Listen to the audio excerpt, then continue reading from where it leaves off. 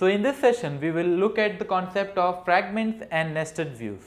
So let us look at the agenda for this session. So here first I will just explain the overview of fragment and how to use fragment in an application and then I will just explain the overview of nested views and then I will use nested views in an application and at the last I will just conclude by just giving a simple example of both using a fragment and using nested views in an application. Let us see what are fragments. So, fragments are lightweight UI parts and that can be reused. So, both fragments and nested views are reusable components. We can reuse each and every code uh, while writing in both the fragments and nested views. So, within a fragment it could contain 1 to n elements, 1 controls and these fragments they does not have their own controllers. So, if we are using a button in a particular fragment, fragment, so the coding or the logic behind the button press that should be written in the view where this views controller where this fragment has been defined. So, if, uh, if in a view we have defined a fragment and on that fragment we have defined a button. So, the logic behind the button will be written in the this views controller. So, defining a fragment is similar to defining views within a separate file. So, there are three types of fragment HTML fragment, XML fragment and JavaScript fragment. Now, let us just see how to use fragment in an application. So, first there are three steps here. So, the first step is to create a fragment file within the view folder and we have to declare this fragment and we just do it by sap.ui.xml fragment so, here this is the demo fragment which is my namespace and followed by the folder name. Here I have used the folder name as fragments itself and this is my fragments name itself. And now these two steps are over. Now we have to define the third step that is to define the content of the fragment. So, here what we see we here this step and this step is by default. So, here this particular code could be changed and here I have used the dialog. So, the title that is the property I have kept it as my dialog and within this dialog I have used the content and I have used this text and followed by this button which is the end button. So, there is this dialog where this text is coming and at the end there is this button. So, this was the format of the fragment file. Now, moving on to the nested views. So, what are nested views? So, nested views are also used for reusable purposes. So, we can code in the nested views and reuse it multiple times. So, the basic difference between nested views and fragments are that they have their own controllers. It's like uh, fragments that don't have their own controllers, but nested views have their own controllers. And it is generally used when the application becomes much complex and all. So, to define a fragment, uh, so to define a nested view what we have to do? We have to write this piece of line and here this is MVC XML view and view name is name of your view. The, here we have to give the path of the view like we have given in the fragment. That is how to use nested views in a particular application. So, there are basically three steps required here. So, likewise we did in fragments we are using here three steps so, first step is to create a view and its particular controller. So, that would be our nested view and in the second step we are instantiating the nested view. So, with this piece of code line and we are instantiating our uh, nested view and the third step is to create the nested view and to write the particular code in the nested view. So, this is the by default code that should be and this is my content in the nested view. So, I have used a text here so, you could see here the format of the fragments and nested views. So, this is my view and within this view I have this new fragment dot fragment dot XML and this is my fragment here that I have used. Similarly, I have also used my nested view within the view itself.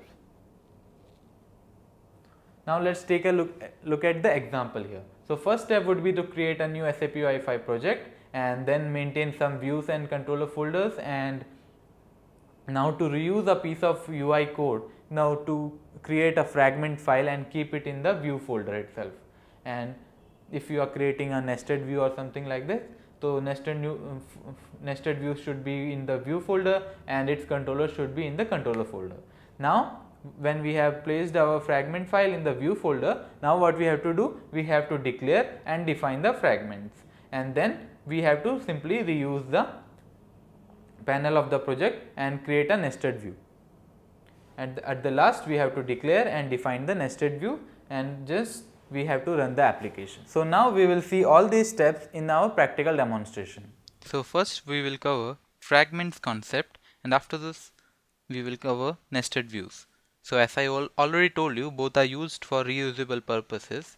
The one difference between them is that nested views have their own controllers and fragments they don't have their own controls. So let's just start with it. So this is my web IDE and we will be doing doing our coding in this particular project that is demo routing project that I have created. So this has many views. So that's why I thought of doing the coding and using the fragments and nested views in this particular application. So let me just show you the this is the first view here. Here I will just define a fragment and fragment we had have this one line of code that we have to define. And to define to use fragments we have to do basically two steps. First we have to define a we have to create a fragment in the view folder.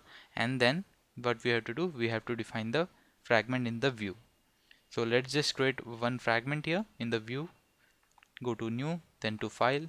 And now define new fragment something like this. Name should be something. And then this should be dot fragment dot xml so we are creating an xml fragment here. So this is the fragment that we have created.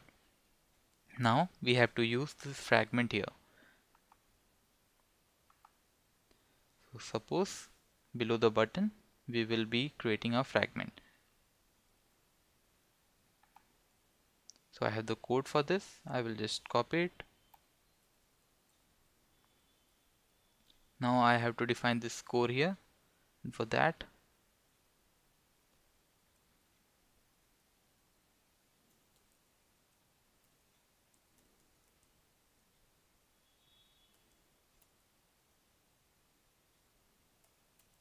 sap.ui.core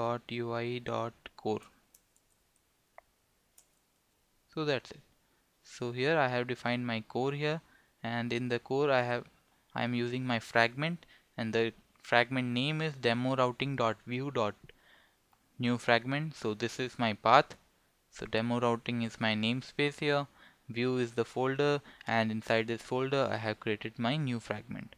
So the type is XML itself. So we have instantiated our fragment with this one line of code. So I am just saving this. Now the next step is to write some code in the fragment. So let's just copy. So this is the basic structure of a fragment here that I'm going to paste. So this is how a fragment looks. This, uh, this is an empty fragment. So there is this fragment definition here. So now what I will do I will use a button or a text maybe. So here in the view 1 you could see we have used this button. Let me just show you so here in this view 1 we have used this go to view 2 button. So now instead of placing this in the view 1 view we will just place this particular button in the new fragment. Here I have pasted it and I will also paste a text file text control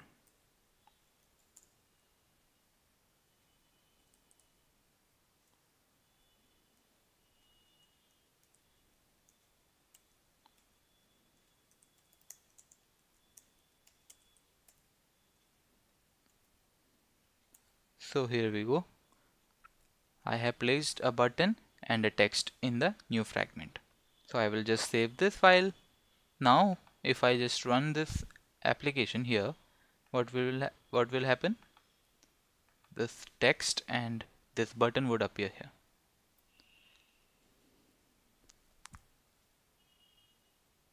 Here we are getting two buttons here. One I suppose I haven't saved this file that's why it is coming still. I will just save this. Now if I just run it again only one button would appear and that would be from the fragment itself. So here I am getting one fragment one button and one text through the fragment. Now you would notice this particular event that is press event. This would work since this I have defined this particular fragment in the view 1 that is in the view 1 I have defined this fragment. So this click function I have to define this particular on click in the view 1's controller. That is control 1 controller. And if I just go to view 1 and here I have, I have already defined it. So that's it. Now if I just click on go to view 2 it would go to go to view 2 so here it is. So to make you understand the concept of fragment here that is reusability. What I will do I will just copy this and paste it in the view 2 also. So in the view 2 also this particular button would appear. So here I am I am defining this. So I have to write this core xmlns core equals to sap UI dot core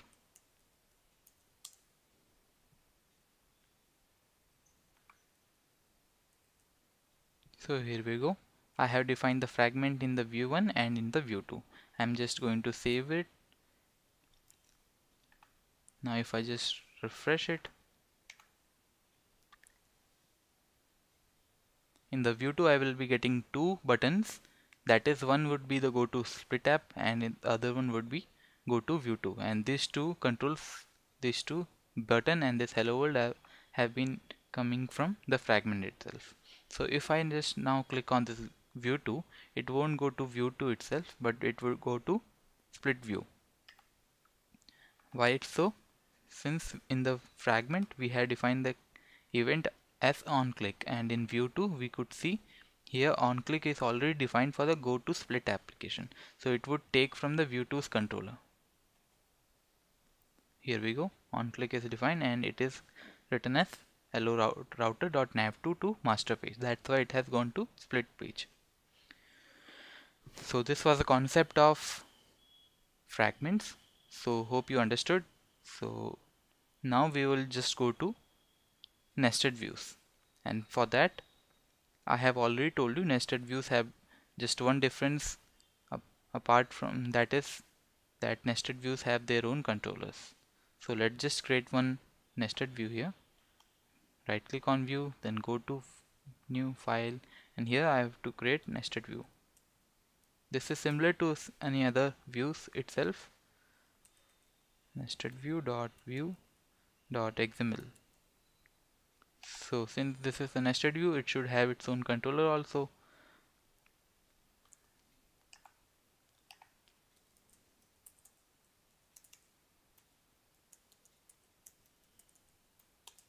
here we go. And I'm clicking on OK. Now here I will just write the code for nested view.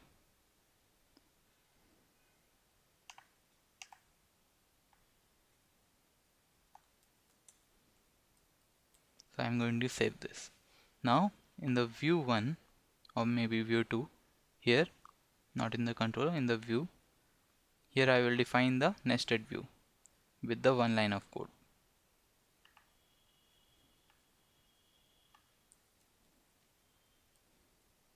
here we go. So basically what it means is that we can we could nest the views in the view itself.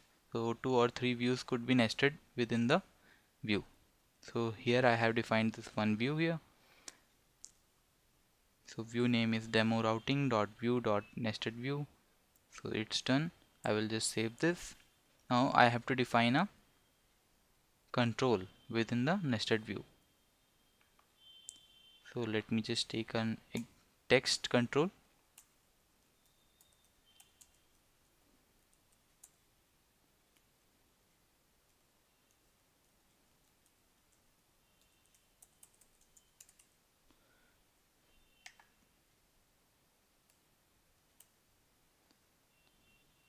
So it's done. So I have defined this nested view in the view 2 view. So in the view 2 we could see a message popping out it would be this nested view itself. I'm going to refresh it and if I just now click on this go to view 2 so there is some error. Let me just inspect it.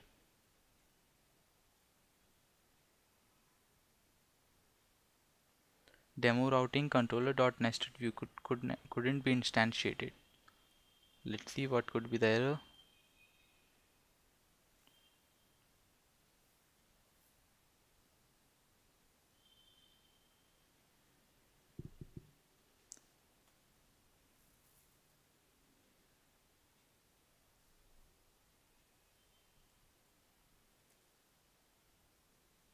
So let me see the what the error was. Uncaught error controller. So controller let me just go to the controller and nested view okay here we see the problem is we haven't mentioned the controller still. So let me just copy on the controller.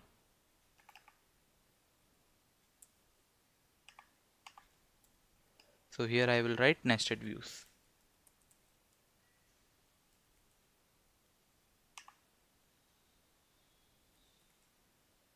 So that's done. Now if I just refresh it again